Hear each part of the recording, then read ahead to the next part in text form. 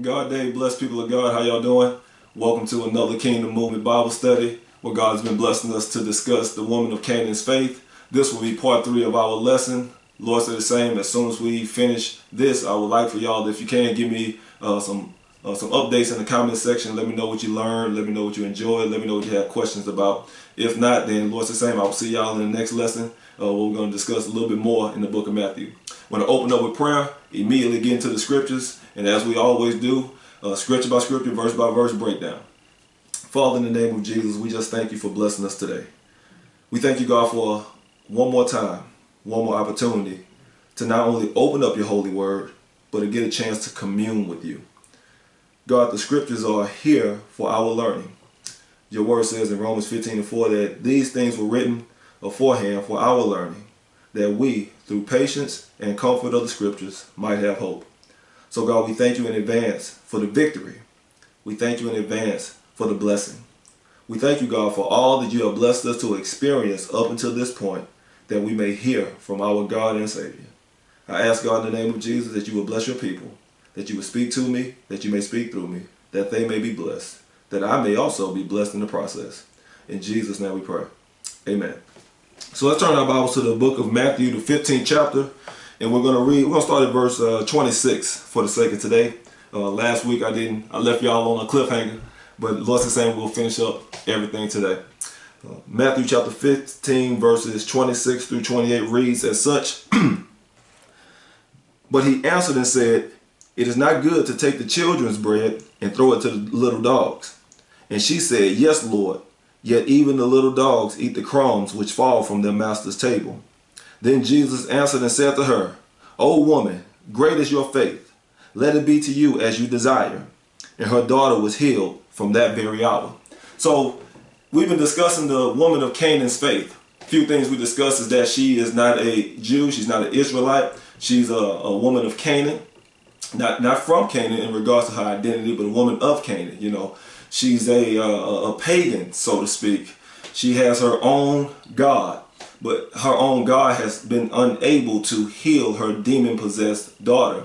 We discussed these three tests that she's gone through so far. She's gone through the silence test where Jesus, she comes to Jesus, she says, Have mercy on me, O Lord, son of David. My daughter is severely demon possessed in chapter 15, verse 22. And Jesus doesn't answer her a word. We call that the, the silence test, and that dealt with rejection. And we, we asked the question, How do you respond when God is silent on you? when the word doesn't utter or mutter a word. So we saw that that first test dealt with rejection.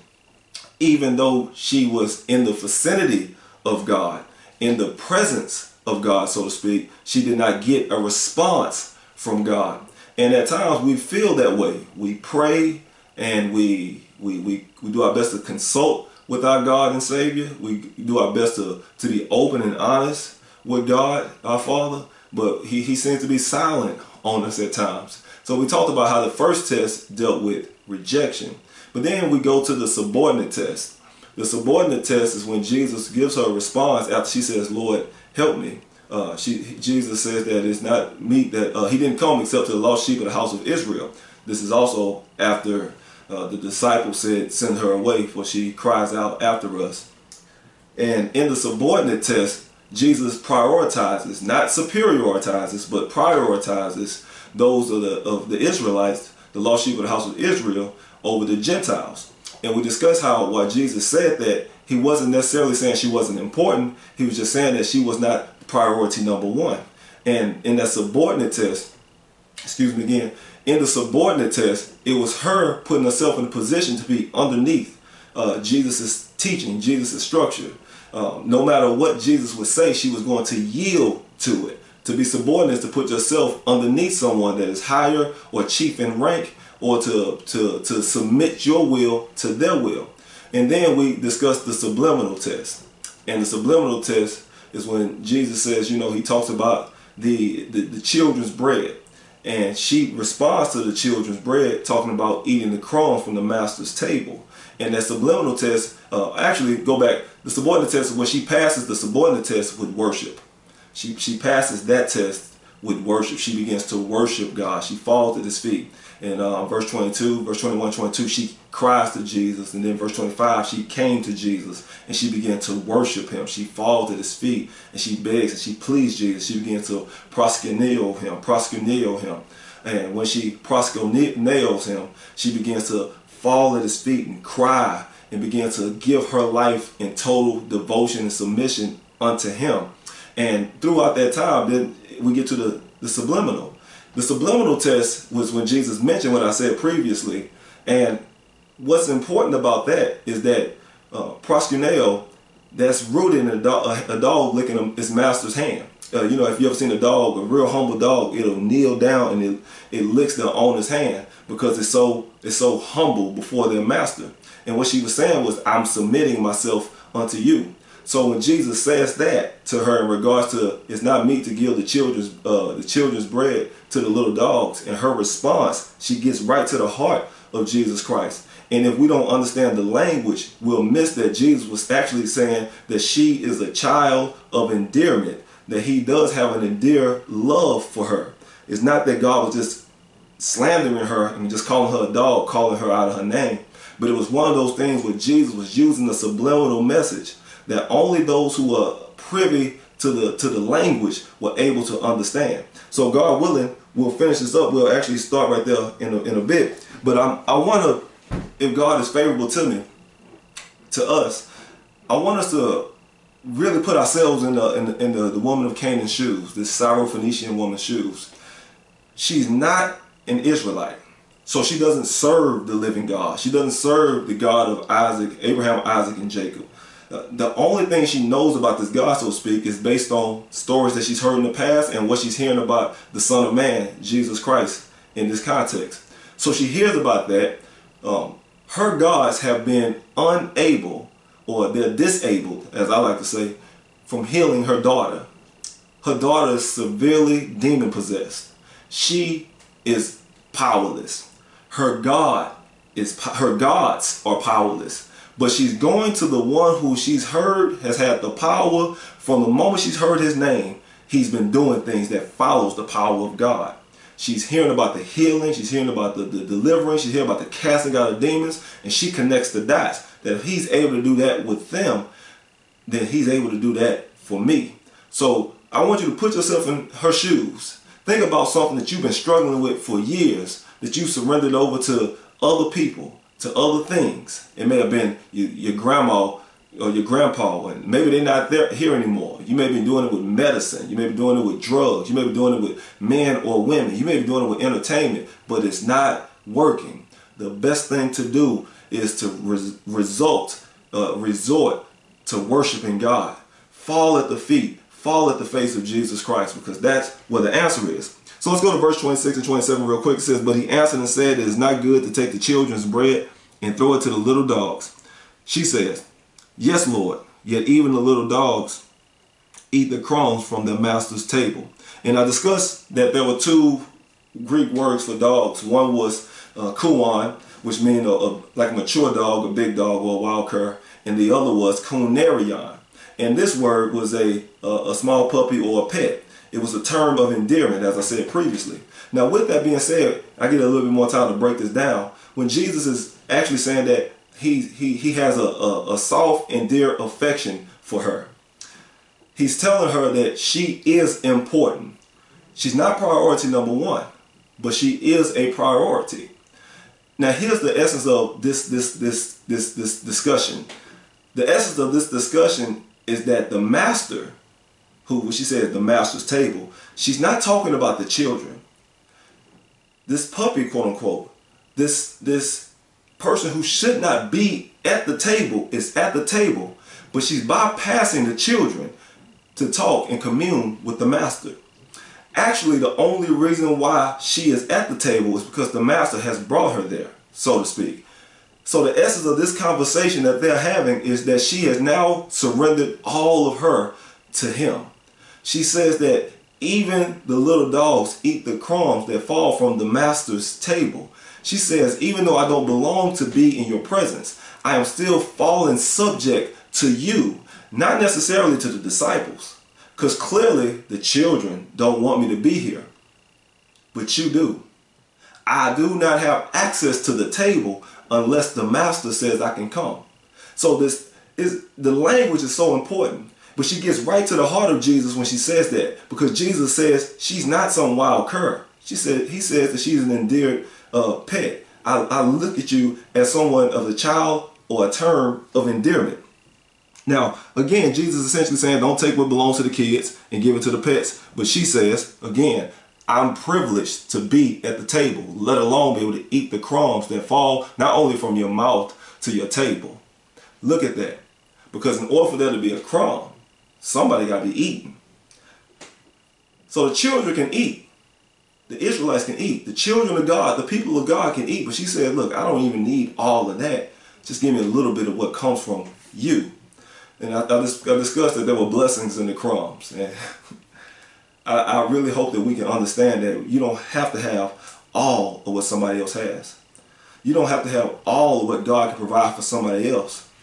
See, if you just get one crumb from God, you've gotten all that God can give to someone else. See, the blessing is that God does not need to show himself mighty in the major. He can show himself mighty in the minor. God can show himself grand and grandioso in the minuscule. He don't need something big because everything that's in that bread is in those crumbs. But she's saying that the crumbs are all I need because the crumbs will fulfill me. But remember, she's interceding for her daughter. She's not interceding on behalf of herself. She's not interceding on behalf of someone else. She's interceding on behalf of her daughter. And I discussed this a few uh, lessons ago as well. A mama will turn into a bear for the sake of her children. But this is the desperate faith of a mama. Some of us in a desperate time. Some of us are going through desperate uh, issues. But they say desperate times call for desperate measures. Some of us have gone to everyone else except Jesus. And all these other avenues have not brought about revenue. All these other uh, places that we've gone have actually shown themselves to be null and void. When we just need to go and surrender all to Jesus. Because notice what's happening. If she doesn't surrender her all to Jesus, her daughter will not only remain demon possessed, but her daughter will die in her sin. Here's the issue if she does not surrender all, her family is subject to that. If she does not yield all of her own, uh, all of herself to Jesus, her daughter will be privy to the demonic attacks of the devil and ultimately fall in that same state. So it's important that we surrender all to Jesus, not holding back, not giving him 99%. Old folks say 99 and a half won't do. you have to give your all to Jesus. So the language in which she comes to Jesus, she cried out to Jesus. She came to Jesus. The verbal language, son of, son of David, have mercy on me. And the, the body language, when she falls at his feet, she worships him. That means not only am I saying one thing, you are seeing another thing.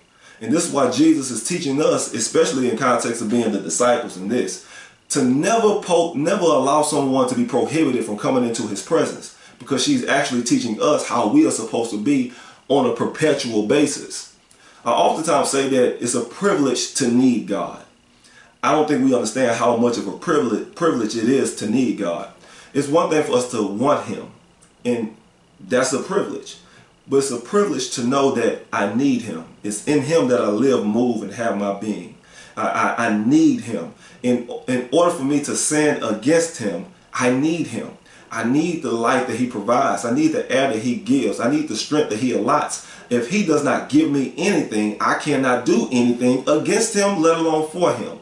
It's a privilege to know how much you need Him. But then when you get to that understanding of how much you need Him, you begin to understand why He is, according to Genesis 15 and 1, our exceedingly great reward. Because if He does not, we cannot. If He does not, we will not. And somewhere down the line, she recognized that to the degree she worships him and she renders all to him. Now, in verse 22, she calls Jesus Lord. Verse 22 says this, And behold, a woman of Canaan came from that region and cried out to him, saying, Have mercy on me, O Lord, son of David. She calls him Lord. Verse 25, Then she came and worshipped him, saying, Lord, help me. Verse 27, and she said, Yes, Lord. All three of these interactions that she have with Jesus, she calls him Lord. The reason why this is important again, because in order to get access to the power of the Savior, in order to get access to the power of the Messiah, in order to get access to the power of the of the of the Christ, you have to go through Lord. Lord means owner, ruler, master. In the Greek is kurios. It means sovereign master. It is it's sovereign master. It's one that you that you surrender your all to. It's one that you give your all to.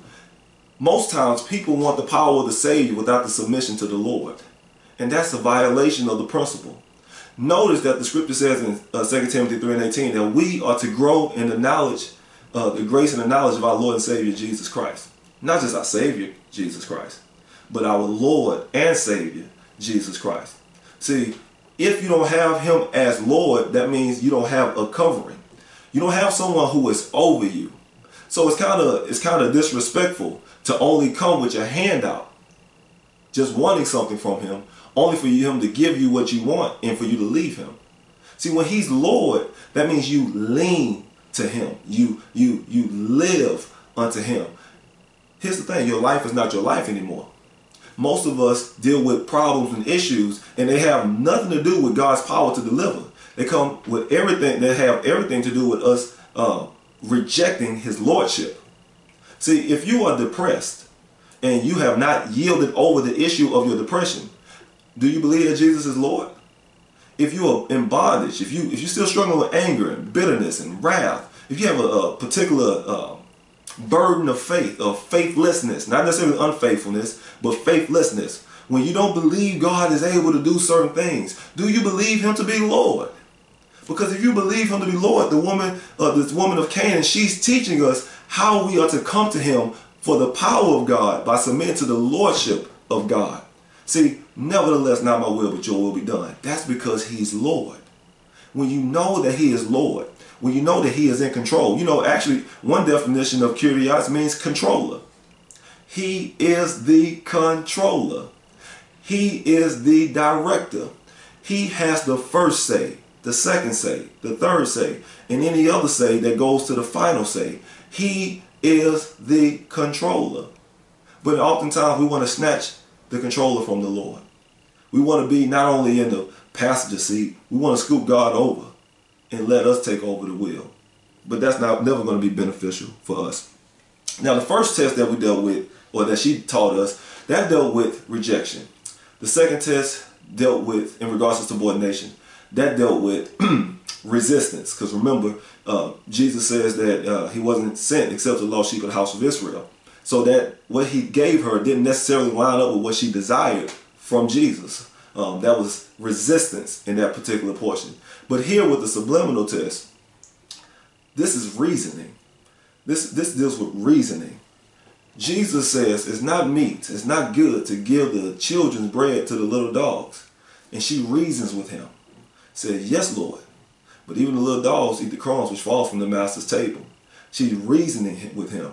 Now that's important because the scripture says, Come, let us reason together, says the Lord. Though your sins be as scarlet, he'll wash them white as snow. He'll wash them, he'll make them pure, he'll make them like scarlet. He'll he'll he'll take away the stain of the sin if you surrender your all to him. Now, what is there to reason about? He's right, I'm wrong. He has the power, I don't. He is um he is omniscient, omnipresent, omnipotent. I am nothing. I am none of the omna. so we're reasoning that he has the power to do it all. But if I surrender my all to him, I'll benefit from his mercy. That's where they begin to reason. Why is that so important? Because if you're not willing to reason, not necessarily with the God, because you can't negotiate with God. That's this wasn't a negotiation. But this is a reasoning that if I don't submit myself over to him, then I will never see the power of his lordship nor of his, his, his saving power, not only in my life, because it's not about me per se, it's about the one that's demon possessed. So many times we don't see deliverance in our families' lives because we won't surrender. Most of the time, God wants to use us as the example so they can see what the power of God looks like. So if there's something that's not happening in your family's life, stop blaming them and start looking at yourself. Well, I thought God was going to hold them accountable. He is. But judgment starts first in the house of God. Am I living the life that He's called me to live? Am I speaking in a manner which is uh, uh, ordained by holiness and righteousness? Am, am, I, am I living a life without reproach? Am I a hypocrite, so to speak? If I'm living hypocritically, well then I'm giving them a reason to not believe that Jesus Christ can do exceedingly abundantly above all according to the power that works in me. Notice that. He can do anything he want to do, but he always allows us to open up the door for him to do it. Ah, some, some of us are convicted.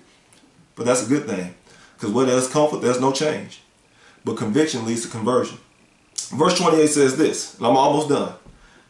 Then Jesus answered and said to her, O woman, hallelujah, great is your faith. Let it be to you as you desire. And her daughter was healed from that very hour. Then Jesus answered and said to her, O woman, great is your faith. Let it be to you as you desire. And her daughter was healed from that very hour. Jesus, in the presence of his disciples, openly rewarded this woman of Canaan. Noted, oh man, y'all gotta catch this. In the presence of the church, Jesus openly rewarded this woman's faith. I'm gonna say it one more time. In the presence of the people who were supposed to have great faith, he openly rewards this woman who don't belong in his presence in the in the presence of those who've been basking in his presence he openly rewards this one woman in her one interaction in his presence. Because her faith is great. She she is she's literally giving a subliminal message. Jesus is actually showing us a subliminal message. And that message wasn't necessarily about her as it was the church. This is her success the success of her test. See when Jesus says, great is your faith, the in Greek that's megas su mistis, supistis, megas su pistis in, in Greek. Megas is where we get our word for great, or, or big, or exceedingly great, large, or loud. It's, man, it's, it means so much. But I want you to know something. Notice where she directed her faith. Y'all catch that? She didn't just have faith in faith. Because it's kind of foolish to just say, I have faith. Oftentimes people say, I have faith. And I often ask them, faith in what? Faith in who? Because you got faith don't mean nothing. The object of your faith is important. It, the, the person, which is Jesus Christ, is the object of our faith. So he says, mega supistis. He acknowledges the greatness of her faith. Megas is great. Sus is, is your, pistis is faith. Notice again though, where and who she directs her, her faith. She directs her faith to Jesus. She directs her faith in Jesus. Now, if you remember from the very beginning when we first meet this lady, she calls on Jesus. Have mercy on me, O Lord, son of David. My daughter severely demon possessed. She goes directly to Jesus. Her faith is in Jesus. Her faith is in Jesus. Before you get to the power of anything else, her faith is in Jesus. Before you start talking about his healing ability, his delivering capacity, she goes directly to Jesus. You will not get anything from Jesus if you're not going to Jesus. She goes directly to Jesus. He is the object of her faith. So let me break this down. When he says megas su pistis, great is your faith. In Greek, it's big is your faith in me. Exceedingly great is your faith in me. High is your faith in me. Large is your faith in me. Loud, look at that, loud, I'm coming back to that. Loud is your faith in me. Mighty is your faith in me. Strong is your faith in me. I just gave you seven Greek words for megas. Now we'll go back to loud. He wasn't talking about her volume was loud but the faith was loud. She cries out to him and she comes to him. She worships him. But remember all of the obstacles that she had to go through. That showed the loudness, the strength, the might, the high volume and integrity, how big, how large it was, how her faith in him. In other words, I know you can do it. Do you believe that Jesus is able? She's teaching us that Jesus is able. Not only is he willing, he's able. She was telling Jesus, I won't leave here until you bless me. That type of situation. Look, whatever I have to go through, if you got to be silent on me to make it seem like you're rejecting me, I'm here, Lord. If you got to say that you're not here for me, you're here for the children of Israel to make me feel subordinate and give me a sense of resistance, I'm here, Lord. If you got to give me a subliminal message whereby it seems like you calling me a dog and making me seem like I'm smaller than what I'm supposed to be, I, I don't I don't care. I'm here to reason with you because I'm here, Lord.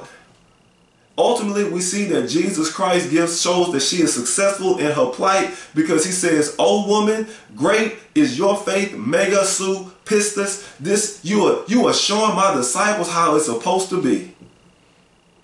Can you imagine how small the church must have felt? I want you to know something. Every time that Jesus says something like this, when he says that someone has great faith, it's always pertaining to the Gentiles. Always pertaining to the Gentiles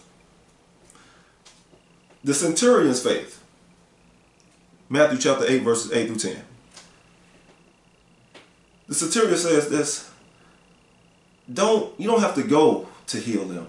Just speak a word. I myself am a man under authority. I have authority. My service, I tell them do this, they do it. I tell them do that, they do that. But just speak a word. Jesus said, I have not found such faith, not even in Israel. I like to say, in other words, that man had the type of faith that make Jesus say Jesus. He only gets that from Gentiles. He gets that from Gentiles and Gentiles only. Why, why is that so important? The reason why that's so important is because we, as the church or as the children of God, we are supposed to be the examples of what faith and faithfulness look like. But you got this outsider coming in, showing the disciples who are supposed to be the insiders being there what faith looks like. Now, if we don't get nothing else from tonight's lesson, we have to learn this that faith has a loud voice. Man, I almost shouted. I almost ran. Faith has a loud voice. You do not have to tell people you have faith. All you have to do is let your faith speak. James tells us this faith without works is dead being alone. Show me your faith without your works, I'll show you my faith by my works. Your faith should be louder than your talk. Your faith in Jesus should be louder than anything you have to say. See, while I wear shirts to say God over everything or Jesus Lord or whatever the case may be, this shouldn't speak louder than my life. This should only be an echo to my life. And that's how it should be for us as Christians, as saints, kingdom disciples. We should be the, the people who allowing the world to see Jesus Christ is Lord to the glory of God the Father. Hallelujah. So listen to this. Listen to this. Her faith was not only sensual and spiritual, but also scriptural. Uh, where do you get that from, preacher? Because oftentimes we think we got faith because we feel something. But what happens when you don't feel it? That's not faith. Her faith was not only sensual, not only was it spiritual, but it was also scriptural. See, it was sensual in that she came, she cried out to Jesus. She felt it. It was sensual. She had the sense. She felt it. She cried out to Jesus. She was there was a there was a feeling. There was an emotion connected to her faith, which brought her to Jesus. It was it was uh, spiritual because her daughter was severely demon possessed, which means that the only way that spirit, those spirits, those demonic spirits could be released is if she was spiritually connected to the spiritual Messiah, the Messiah. It was a spiritual faith as well. But it was scriptural in this Have mercy on me, O Lord, son of David. O Lord, son of David. Where did she get that from?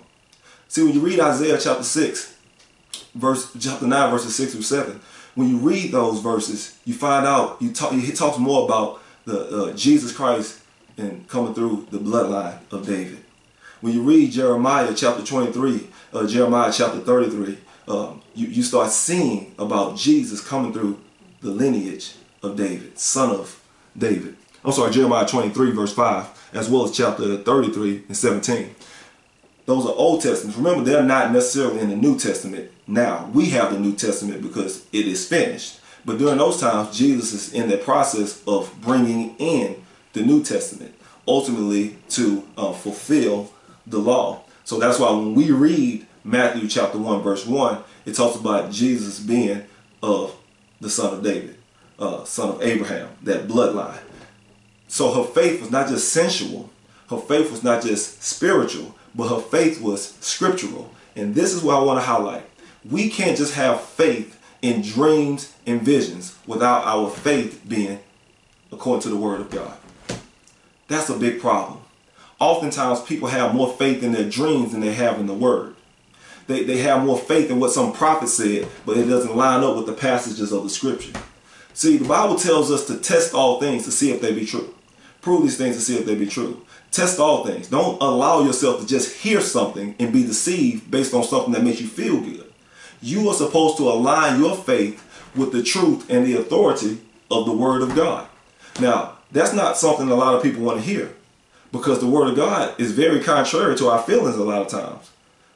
But is it about us or is it about the living Word who is our also who also is our living God and also our living Lord? Because if that's the case, we submit we become subordinate to his will and not our own. Now, because her faith was great, her daughter was healed. I don't know if y'all caught that. The Bible says, and from that hour, from that very hour, her daughter was healed. Hallelujah. You got to check that out. She's, she's rewarded, but she didn't come there to be rewarded. She didn't come there to be rewarded. She came there because her daughter was severely demon possessed. But because she had great faith, her daughter was made whole. Her daughter was healed. Now, what made her faith great was this. She allowed every obstacle that God placed before her to be an opportunity to get closer to the heart of God without wavering. Every obstacle that Jesus Christ laid before her was an opportunity that she seized. Every time that Jesus didn't say something, she drew closer. Whenever Jesus said something that brought about resistance, she drew closer. Whenever Jesus said something that she didn't necessarily like, she still drew closer. In other words, they were stepping stones, not stumbling blocks. She got right what Jesus wanted her to be from the very beginning because she needed to know, Jesus needed to know, the disciples needed to know that her faith was in Jesus, not nowhere else. And because of that, her daughter is now healed. Where's her daughter in the equation? We don't know if her daughter is at home sleeping from a demonic attack we don't know if the, the, the demonic uh, attack is allowing the, the, daughter to do anything that's not only putting herself in danger but others in danger. We don't know what the daughter is, but we know what the mama is in the face and in the presence of God Almighty right now. So he, he, he gives us all these obstacles and she uses them as opportunities, but she doesn't waver. This is why he's able to tell her, Megas su pistis. Great is your faith. So the last two things I'll, I'll leave you with this. This is the success of her test. I can only imagine how happy she is just hearing those words. The success of her test is two things. Number one, she's publicly acknowledged or rewarded for her faith. Even though she didn't come there for that, she got that. She has now been justified in the presence of the people by the Lord. Think about that. All that she's gone through to get there she's now validated, vindicated in the presence of God and God's people. And the second thing, her daughter is healed from that very hour. From that very hour. The moment Jesus says, "O woman, great is your faith. Let it be let it be to you as you desire. Let it be to you as you desire as you desire. Whatever you are desiring for me because you didn't go nowhere else you came to me. You understood that the power was in me. You understood that the deliverance was in me. In other words you came to me for the sake of me and because you came to me for the sake of me your daughter is going to benefit from it. Your desire has now been given unto you because now you've given me your desire. Y'all catch that? She didn't take her desire into her own hands she gave her desire unto Jesus. So if you don't catch anything else, you have to give everything to Jesus. Once you give yourself to Jesus, all that concerns you, you also give to Jesus. Does this make sense? I pray it does. Lord is saying we'll pick up on another lesson next week. I pray y'all will bless. Uh, for anyone who hasn't accepted Jesus Christ as their personal Lord and Savior, after you hear a lesson like this and you know that you haven't given your all to Christ, you know that you're not saved. What are you waiting for? This is the moment. This is the time. Just repeat after me. Father, in the name of Jesus, I believe. I believe. Jesus, I believe in you. I believe that you came to die for my sins, for my pride, my slander, my hatred, my adultery, my fornication, my, my fornication, my bisexuality, my homosexuality, anything that I'm doing that's not like you, my stealing, all my sins, all my crimes. I ask you to forgive me as I accept your son Jesus Christ as my Lord and my Savior. I don't want your death to be in vain on my behalf. I give you my life. And I ask you to take residence and lordship, which is ownership. Fill me with your spirit.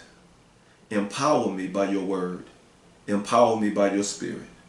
That I may be the man or the woman that you've created me to be.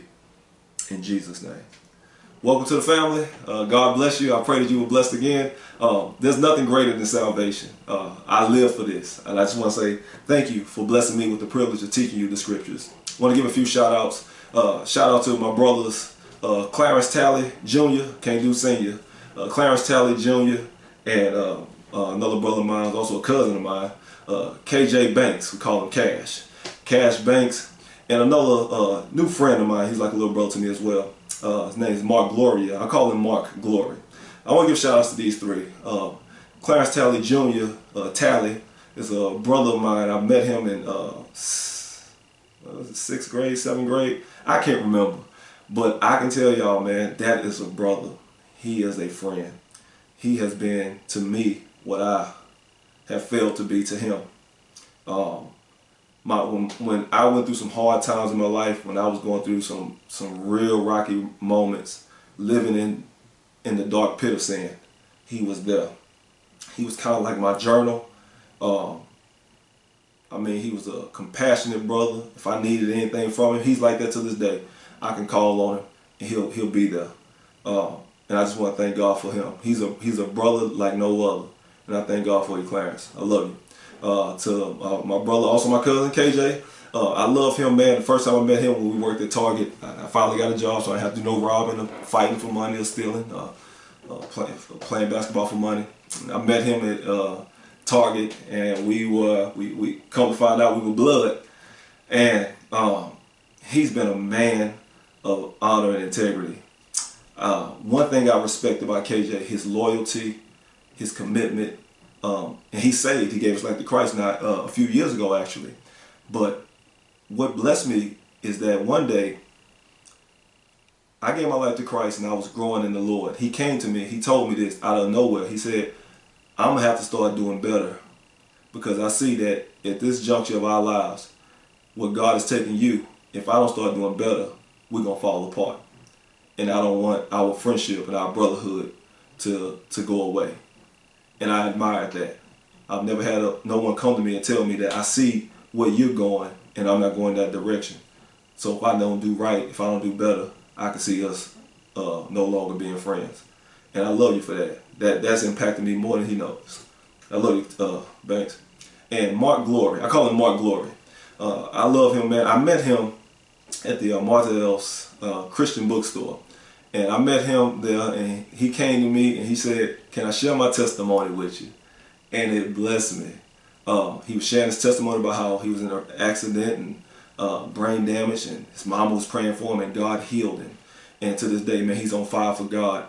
Uh, his mother was recently um, uh, diagnosed with uh, COVID-19, and uh, he called me to pray for her. And normally when he calls me, I pray. But this time he was so compassionate, so filled with the Spirit, he just began to pray. And, to, and now he, he gave me a call recently, let me know that both his mom and his brother have been healed. So I want you to know, mama and your brother and brother, that your, your, your son and your brother, Mark Glory, loves you. And I respect him. He's a man of faith. He's a man of integrity. And he's a man after God's own heart. Again, I pray this lesson blessed you. Um, I love you, Mark. I pray this lesson bless you. I pray that, that God is continuously watching over you and keeping you. And I pray that the, the woman of Canaan was able to give you not only conviction, but also inspiration. So we can draw closer to God and, and, and be exactly what he wants us to be and receive exactly what he wants us to receive. God bless you. God keep you. And y'all know the slogan, God first.